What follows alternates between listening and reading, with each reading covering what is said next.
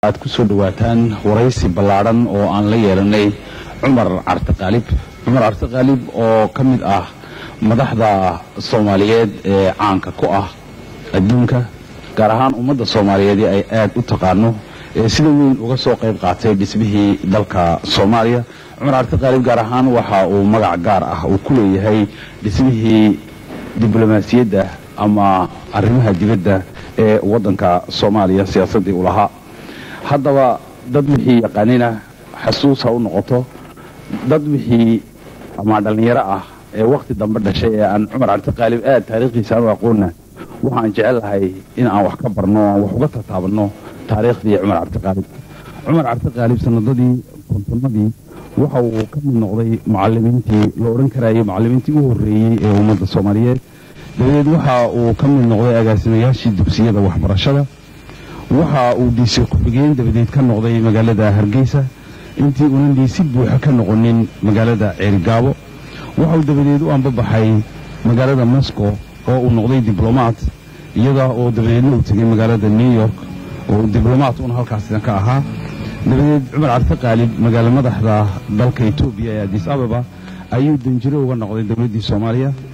Waxa uu dabadeed xubin ka noqday baarlamanka waddanka soomaaliya oo baarlamanka ayuu galay cumar carte qaalib intii una noqdan wasiirka arrimaha dibadda ee dowladdii askariga ee waddanka soomaaliya isaga oo ahaa wasiirka arrimaha dibadda muddo toddoba sannadood ah. Dabadeed waxa uu noqday markii uu ka tegey jagadaasi wasiirka tacliinta sare. Dabadeed waxaa madaxta uu soo qabtay jagooyinka uu soo qabtay cumar carte qaalib ka mid ah isaga oo noqday wasiirka madaxtooyada markii cumar carte qaalib la xidhay waxa uu ahaa guddoomiye ku-xigeenka golaha baarlamanka ee waddanka soomaaliya ugu dambayn waxaa cumar carte qaalib uu ka noqday ra'iisul wasaare dowladdii la dhisay markii uu ka baxay waddanka soomaaliya maxamed siyaad barre. Haddii intaas cumar carte qaalib aad wax ku daraysa taariikhdaada way ku bannaanta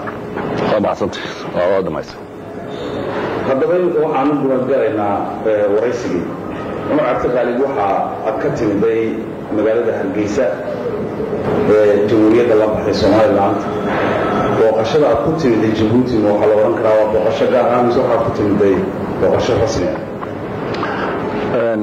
بسم الله الرحمن الرحيم وبه نستعين على أمور الدنيا والدين وصلى الله على سيدنا محمد وعلى آله وصحبه وسلم saciid maxamed waxaan waad mahadsan tahay. Soo dhowaynta adigu soo dhowaysay telefisyoonka jamhuuriyadda jabuuti waxaan su'aasha ugu horaysa jawaabteedu ay tahay inaan u joogo halkan jamhuuriyadda jabuuti aan shacbigeeda aan jecelahayna aan dhex joogo inay tahay booqasho khaasa ah.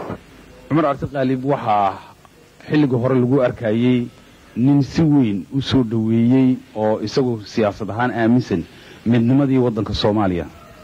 Oo waxaad ka soo horjeeday sida muuqatay in soomaaliya la kala gooyo. Iminkana waxa aad soo dhoweysay dhismaha ama aqoonsiga jamhuuriyadda la baxday somalilan oo waxaad ka timiday magaalada hargeysa oo aad kaga soo qayb qaadatay shirkii beelaha ee halkaasi ka dhacay.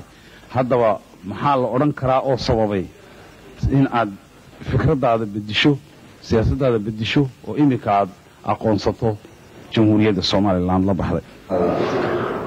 Waad mahadsan tahay waxa kolka ugu horeysa ilaahay wuxuu yidhi qur'aankiisa ku yidhi wamaa tashaa'uuna ilaa an yashaa allah. Waxaad doonaysaan maahe waa waxa ilaahay doono.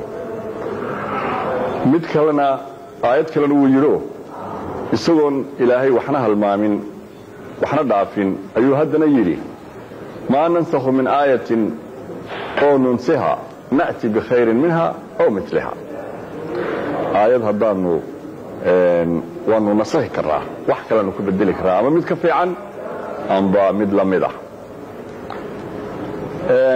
Xagga cilmiga siyaasaddana waxaa la yidhaahdaa siyaasaddu waa kolba in la fuliyo wixii suuro gala. Ta kale waxaan ku xusuusinayaa idinku dhallinyaro ahaydeena markii madaxda reer jabuuti aan aad iyo aad ixtiraamkooda naga dhexeeyo. Markii jabuuti gagaar isu taagtay markaas nafteeda waxaan aaminsanaa midnimada soomaaliyeed oo aad baan markaan runta idiin sheego waan ka xanaaqay. Laakiin markii aan wada fadhiisannay madaxda reer jabuuti ee aannu murannay ee aannu meel walba wax ka eegnay waxay igu qanciyeen inaan aqbalo jiritaanka jabuuti taasina waxay xikmad aynu ku raynay waayo markii soomaaliya burburtay jabuuti waxay noqotay albaabka laga soo galo dalkii burburay iyo meesha dibadda looga baxo. Wax weyn faa'iido weyn ayaa shacbiga soomaaliyeed uu ka helay jiritaanka jabuuti inuu ahaado jiritaan xor ah oo independent ah. Markii dabeeto waxaan intaa gogoldhig uga dhigayaa kolkii horeba waan lay afgarane ujeeddadeedu may ahayn inaan iska soo hortaago somalilan yani inay gooni noqoto.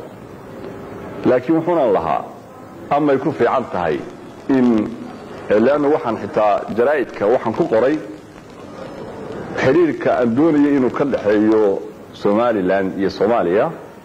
Waxa weeyaan ka ingiriiska iyo canada iyo austraaliya ka dhexeeyo kale. Dadku laakiin may fahmin maca alasaf markii dambe waxa sharaf weynii ahayd maalintii laysku darsamayey inaan goobjoog ahaa. Mas'uul ahaa. Sida aad maxamed oo sheegtay waxaan ahaa ku-xigeenka dhiisiga hargeysa. Waxaan xusuusanahay shacbigii soomaaliyeed ee reer hargeysa inay baarlamaanka isku xeereen. Iyagoo sita faasas iyo midyo iyo tooriyo iyo seefo oo ay leeyihiin haddaanu maqli weyno waa laysku daray soomaaliya. Nimanka baarlamaanka ku jiraa markay soo baxaan waanu gowgowracaynaa anigu mas'uul baan ka ahaa amniga iyo dhulka hargeysa. Saraakiishi baa ii timoo tiri maxaanu samaynaa. Waxaan ku yidhi waxba ha samaynina iska suga. Waayo kelmaddaa way maqli doonaan. Waxa ilaahay qadaray.